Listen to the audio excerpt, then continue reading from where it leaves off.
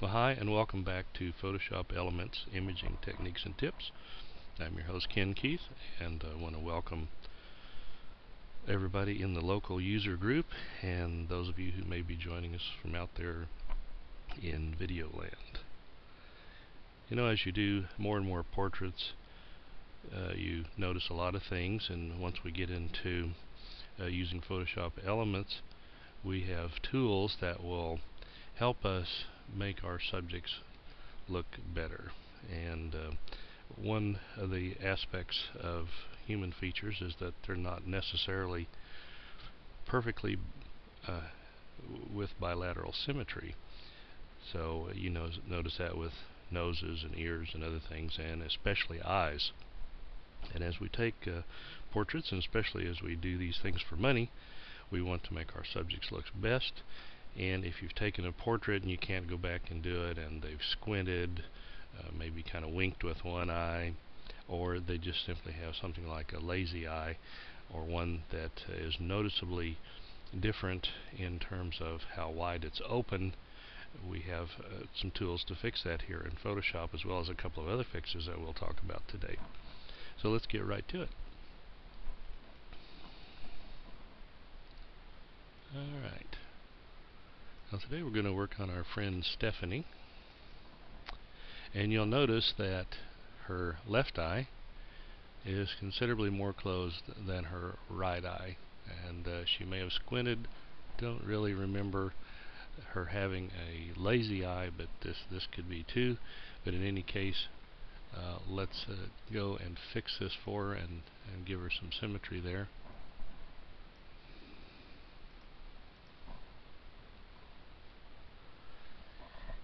And uh, it's good to zoom in so that you can see more precisely what you're doing and hopefully you've taken your picture uh, with a high-res setting on your camera. You certainly need to do that if uh, at all possible because as you zoom in uh, to where you need to be for these fixes that we're going to talk about uh, it's, it's really great to uh, be able to see it in this way if it's a low res image and you start coming in very close, uh, you're going to get some really pixelated images. It's going to be much tougher to work on.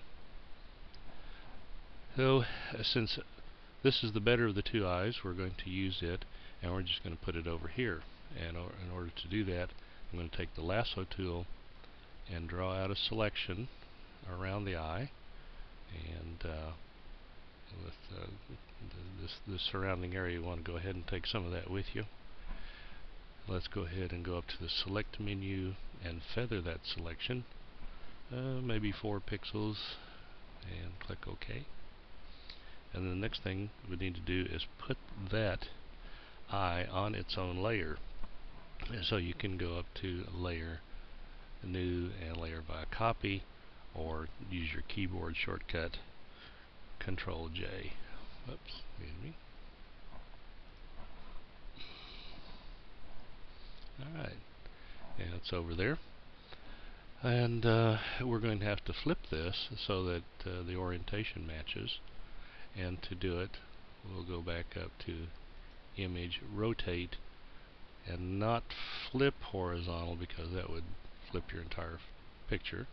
But you're going to flip that layer horizontally. Click on that. Press the letter V, which brings up your Move tool and bring it over to this side. Now we could place that uh, by we by eyeballing it. that's kind of a joke. Anyway, we can do that, uh, but what's going to be best is if we lower the opacity of our eye layer a bit so that we can see what's going on underneath and that'll help us line it up. Now I'm taking the uh, uh, initially using the catch lights to line that up. And that's about right. But you notice that the tip end of the eye, the, the end toward the nose, is still not lined up, even though the eyeball is essentially lined up. So I'm going to bring up free transform, press Control and T.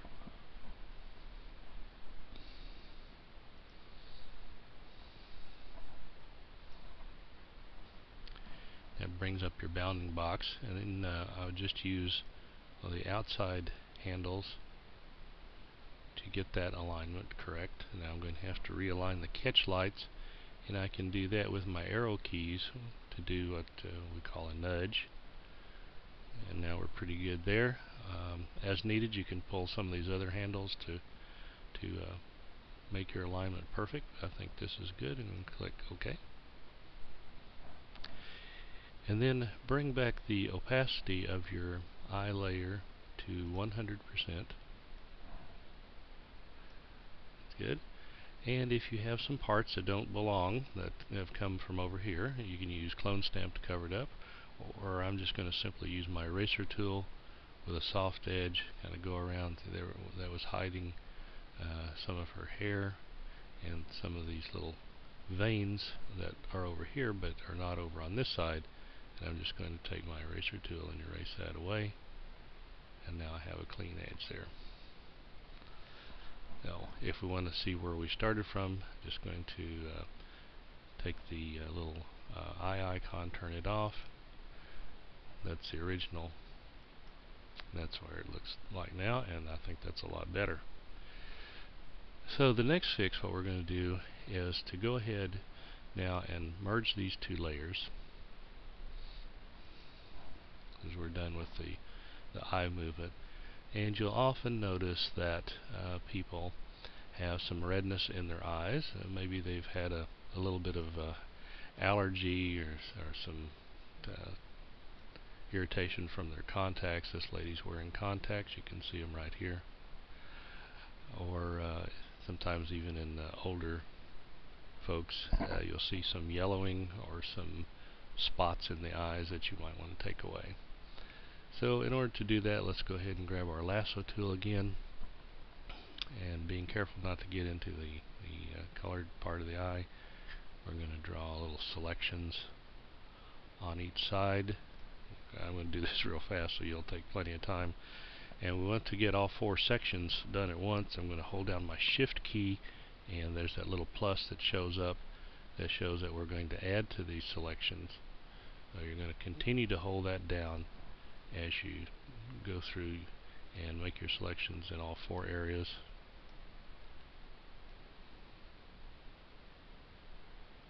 And I did a really crummy job there but you get the idea. And then select and go ahead and put a feather on those maybe a couple of pixels and click OK and go up to enhance color and hue and saturation. And if it's a, a problem with the redness of the eye. Instead of master we're going to go down here to the red channel